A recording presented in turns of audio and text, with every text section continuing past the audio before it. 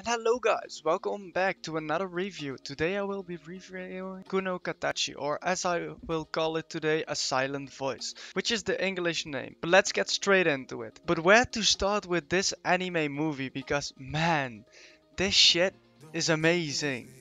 The story is great to start off. It is about a girl that can't talk because she is deaf and gets bullied because of it. And then the story gets twisted in such a nice way with so many emotional moments that really get onto you. The animation itself is one thing because the anime also really looks nice. But in this anime that wasn't what made it a great anime and a long shot. The story is just indescribable. You really have to watch the anime to understand what I'm talking about. The only downside is that it is a movie, so it's not that long to watch.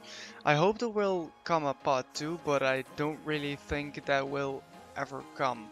So that is kinda sad, although it wasn't that long, I still gave it a 10 out of 10. Reason is that it's not about the length, but the story and the... Yeah, it was just amazing.